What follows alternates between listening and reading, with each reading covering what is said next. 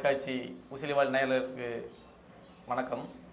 இன்னைக்கு வருகை தந்துள்ள தமிழகத்தின் சமாஜ்வாதி ஃபாரூக் பிளாக்கின் மாநில பொதுச் செயலாளர் ஐயா எஸ்பி அள்ளிகுடைய வருகை வந்ததற்கு வருக வருன்னு வளர்க்குறோம். வணக்கம்.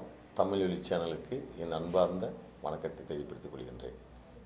ஐயா இப்போ பார்த்தீங்கன்னா கரெக்டாக வர பிப்ரவரி இருபதாம் தேதி சமூக வலைதளங்களும் சரி அதை சார்ந்த அனைத்து ஊடகங்களையும் பார்த்தீங்கன்னா மிகப்பெரிய அளவிலான தூங்கா நகரத்தை தூங்க வைப்போம் முடக்குவோம் மதுரையை இன்று முக்குளத்தை அமைப்பை சேர்ந்த அனைத்து உறவுகளுமே தயாராகிட்டு இருக்காங்க. இது எந்த அளவுக்கு சாத்தியமாகும்? அதாவது மூன்று அம்ச கோரிக்கை. ஒன்று மதுரை விமான நிலையத்திற்கு பெயர் வைக்க வேண்டும். ரெண்டாவது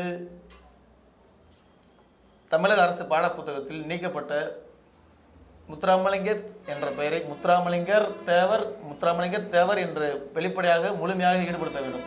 மூன்றாவது பார்த்தீங்கன்னா டிஎன்டி என்ற ஒரு ஜாதி சான்றிதழை மீண்டும் வழங்க வேண்டும் சொல்கிறாங்க அதில் உங்கள் கட்சி சார்பாக நீங்கள் எந்த அளவுக்கு நடைமுறைப்படுத்துறீங்க?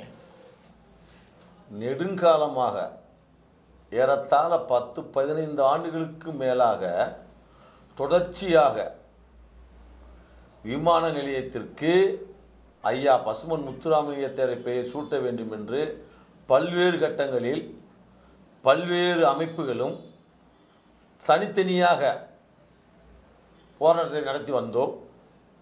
இன்றைய சூழலில் எங்களை எல்லாம் ஐயா அவர்கள் பெயர் வைப்பது சம்பந்தமான விஷயத்தில் அனைத்து ஃபார்வர்ட் பிளாக் இயக்கங்களையும் தேவர் பெருமகனார் எங்களை ஒரு வட்டத்திற்குள் கொண்டு வந்து விட்டார்.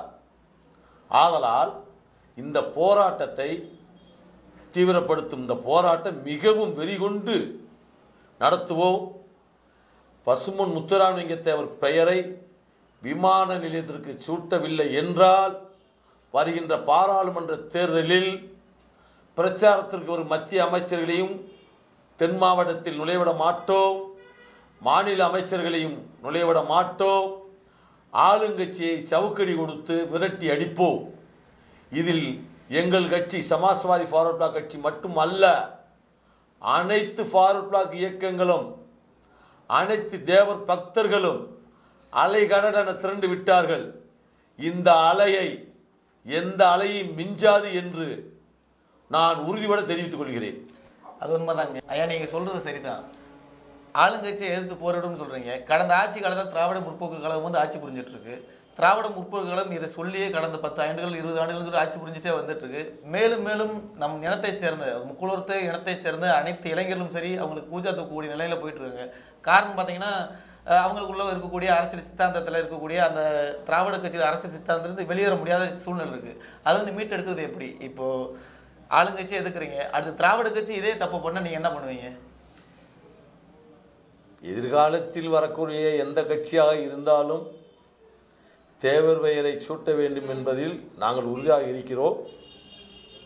அவர்களும் திராவிட இயக்கத்தில் வளர்ந்தவர்கள் அந்த பாரம்பரியத்தில் உரியவர்கள் என்பதால் மறுக்கும் பட்சத்தில் எங்களது போராட்டத்தை மீண்டும் மீண்டும் மீண்டும் துரிதப்படுத்துவோம். ஆக மொத்தத்தில் பெயர் வைக்கும் வரை எந்த கட்சி ஆளுங்கட்சியாக வந்தாலும் போய மாட்டோம். இல்லை நீங்க சொல்றது உண்மைதான். இருந்தாலும் கூட இந்த ஒற்றுமை எத்தனை நாளைக்கு பலப்படும்? இந்த ஒற்றுமை என்பதை ஏற்கனவே நான் கூறியது போல தேவரையா அவர்கள் எங்கள் அனைவரையும் இந்த விஷயத்தில் ஒன்றிணைத்து விட்டார்.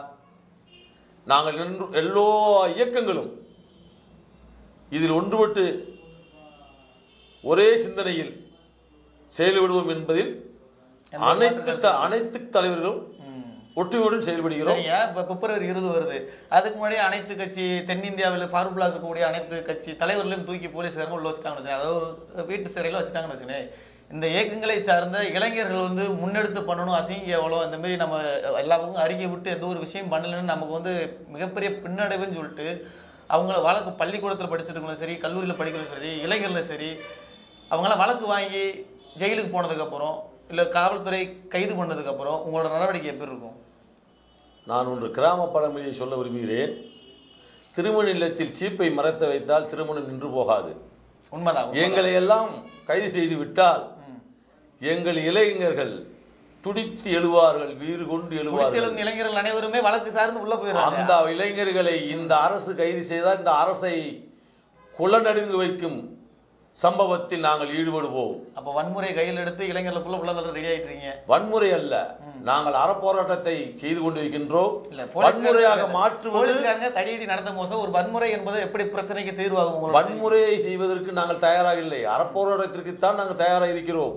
வன்முறையை தூண்டும் விதத்தில் தமிழக அரசும் காவல்துறையும் செயல்பட்டால் செயல்படும். இதுதானே கடந்த அதற்கு நாங்கள் பொறுப்பல்ல. அதற்கு நாங்கள் பொறுப்பல்ல. அதற்கு பொறுப்பு இல்லை அதற்கு நாங்கள் பொறுப்பல்ல. ஐயா கடந்த ஆளுங்களில் பார்த்தீங்கன்னா திராவிட முன்னேற்ற கழகமும் தற்சமயம் அண்ணா திராவிட முன்னேற்ற கழகம் தான் ஆட்சி புரிஞ்சிட்ருக்கு. எதிர்காலத்தில் ஏதோ ஒரு கட்சி ஆட்சி புரிய போகுது இந்த போராட்டங்களும் ஆர்ப்பாட்டங்களும் காணல் நீராகவே போயிருமா? இது என்றுதான் தீர்வு. நிச்சயமாக மத்திய அரசாங்கம் எங்களுக்கு தகவல் தந்துள்ளதில் பெயரை வைப்பதற்கு ஆட்சேபனை இல்லை. மாநில அரசாங்கம் தடையில்லா சான்று வழங்க வேண்டும் என்று குறிப்பிட்டிருப்பதை பார்க்கும் பொழுது இந்த தமிழக அரசு இனியும் காலந்தாமதம் தாழ்த்தினால் நமது அரசு வீணாகிவிடும் செல்லா காசாகிவிடும். மக்களை நம்மளை ஏற்று பார்க்க மாட்டார்கள். நாடாளுமன்ற தேரத்தில் பலத்த அடி விழுகும். இதையெல்லாம் சிந்தித்து இன்றைய ஆளும் அதிமுக அரசு நிச்சயமாக மத்திய அரசின் உதவியுடன் மாநில அரசின் ஒப்புதலோடு பெயர் வைக்கும் என்று நம்புகிறோம். நம்புறது எல்லாருக்கும் நம்பிக்கை தான் இருக்குல்லன்னு சொல்ல. உலகத்திலே அதிகமான தலைமை பண்புகளும் அதாவது அதிகமான கட்சிகளும் குறைவான தொண்டர்களும் கொண்ட ஒரே ஒரு இயக்கம் என்னன்னு பார்த்தீங்கன்னா ஃபாரூக் பிளாக் தான். அத்தனை கட்சி தெருவுக்கு தெருவுக்கு முக்கு முக்கு கட்சி. இந்த கட்சிகளை ஒரே கையில் ஒரு குடையின் கீழே கொண்டு வர சாத்தியமா? தலைமை பொறுப்பில் பார்த்தீங்கன்னா ஒருவருக்கு ஒருவர் ஈடு கொடுக்கணும். இங்கே எல்லாமே எல்லாருமே பார்த்தீங்கன்னா உனக்கு பூமாலை எனக்கு பூமாலன்னு எதிர்பார்க்கக்கூடிய சுயநலவாதிகளாக தான் செயல்பட்டு இருக்காங்க இந்த சுயநலம் எப்போது பொதுநலமாக மாறுறதுக்கான வாய்ப்பு இருக்குது நான் ஒன்று சாகோருக்கு தெரியப்படுத்திக் கொள்கின்றேன். ஆரம்ப காலத்தில் நீதி கட்சியாக இருந்த கட்சி திராவிட கட்சியாக உருவெடுத்து இன்று அதனுடைய கட்சிகள் ஏறத்தாழ இருபதுக்கும் மேற்பட்ட இயக்கங்கள் அதில் தோன்றியுள்ளன. திராவிடர் கட்சி திராவிட கட்சி திராவிடர் கட்சியின் உள்பிரிவுகள் குளத்தூர் மணி தங்கராஜ் மற்றும் திராவிட முன்னேற்றக் கழகம் அண்ணா திராவிட முன்னேற்றக் கழகம் மறுமலர்ச்சி திராவிடர் கழகம் தேசிய முற்போக்கு திராவிடர் கழகம் லட்சிய திராவிடர் கழகம் என்று எல்லா கட்சியிலுமே சிறு சிதறுண்டு தான் நிற்கின்றன. அகில இந்திய அளவில் பார்த்தால் தேசிய தேசிய காங்கிரஸ் அகில இந்திய காங்கிரஸ். இன்று மாநிலம் முழுவதும் சிதறுண்டு திரிணாமுல் காங்கிரஸ் தேசியவாத காங்கிரஸ் கர்நாடக காங்கிரஸ் கேரளா காங்கிரஸ் என்று எல்லா கட்சியிலுமே கட்சிகள் இருந்தாலும் கூட இத்தனை கட்சிகள் இருந்தாலும் கூட அவங்களுக்குன்னு ஒரு கொள்கையும் கோட்பாடும்ன்றது இருக்கு. ஒரு பிரச்சனைனா ஒரு மதத்தை சார்ந்து ஒரு முஸ்லீமுக்கோ ஒரு இந்துவுக்கோ ஒரு கிறிஸ்டியனுக்கோ ஒரு பிரச்சனைனா எல்லாரும் ஒன்று கூடக்கூடிய தன்மை இருக்கு. ஆனால் இங்கே பார்த்தீங்கன்னா கல்லர் மறவர் மகமுடையான மூன்று உட்பிரிவின்களை பல்வேறான குழுக்கள் நம்ம புரிஞ்சு கிடக்கும். இப்போ பார்த்தீங்கன்னா கல்லர்களுக்கு மட்டுமா முத்துராமலிங்கத்தவர் அவர் உதவி பண்ணார்? மறவர்களுக்கு மட்டுமா உதவி பண்ணார்? ஏன்? அகமுடையாருக்கு மட்டுமா தனித்தனி பிரிவுகள் என்பது ஒரு பிரச்சனைனா உசிலமட்டி வந்து இங்கே தீப்பிடிக்குது. இதை சார்ந்து மதுரையும் சார்ந்து தான் அது பாதிக்கப்படுது. ஆனால் மற்ற மாவட்டங்களில் இருக்கக்கூடியவரெல்லாம் எனக்கு என்ன வேலை இதில் எனக்கு இதனால எனக்கு என்ன பிரச்சனை உண்டாகுது? இதெல்லாம் ஒதுங்கி பண்ணால் அதை எந்த கொண்டாடத்தான் நீங்கள் பார்க்குறீங்க அதை? இல்லை பொதுவாக வந்து மக்கள்கிட்ட வந்து எழுச்சி மாறலை. எழுச்சி மிகுந்த எழுச்சியாக தான் இருக்காங்க. இல்லை இருந்தாலும் முதல் வெடிப்பு உசிலம்பட்டியாக இருக்கு அது என்ன காரணம்? அதுக்கு என்ன காரணம்னு சொன்னால் ஐயாவை தன் உயிருக்கு மேலாக நேசிக்கிறதுக்கு காரணம் தேவர் தந்த தேவர் கல்வி தந்தை அமரர் முக்கிய தேவர் விதைத்து வைத்த நாற்றாங்கால் தான் உசிலம்பட்டி. அந்த உசிலம்பட்டி மண்ணில் இருந்துதான் வீர வேங்கைகள் வெகுண்டு எழுந்து புறப்படுவார்கள். இருந்தாலும் வெற்றிவேல் வீரவேல்னு பிறந்த அந்த போர்க்களமே வாழ்க்கை என்று வாழக்கூடிய இந்த உசுலமட்டியை சார்ந்த இளைஞர்கள் இன்று தான் பொது அறிவு சித்தாந்த சிந்தனை வர போகிறாங்க அவங்களுக்கு கல்வி அறிவு பின்தங்கி தான் டிஎன்டின்னு ஒரு தடையில்லா சான்றிதழ் அரசாங்க வண்டி வழங்கி ஆகணும்னு சொல்லிட்டு கடந்த ஆயிரத்தி தொள்ளாயிரத்தி எழுபத்தொம்போதுலேருந்து இப்போ வரைக்கும் பிரச்சனை ஓடிட்டு இருக்கு. இப்போ வந்து நல்லா சூடு பிடிச்சிட்டு இருக்கு. தமிழக அரசும் தற்சமயம் வரை தயக்கம் காட்டுவதற்கு என்ன காரணம்? இவங்க மெஜாரிட்டி ஆயிடுவாங்க நம்ம தென் தமிழகத்தை கைப்பற்றிடுவாங்க. நமக்கு ஆட்சி பொறுப்பு கிடைக்காதுன்னு அந்த கணக்கா? இல்லை உங்கள் சார்பு உங்கள் சிந்தனைப்படி என்ன நினைக்கிறீங்க அதை பற்றி இல்லை ஏற்கனவே டிஎன்டி என்று வழங்கியது இவர்கள் அல்ல. பிரிட்டிஷ் ஏகாதிபத்தியத்தை விரட்டி அடித்த பெருமை இந்த எங்கள் சமூகங்களுக்கு தான் உண்டு.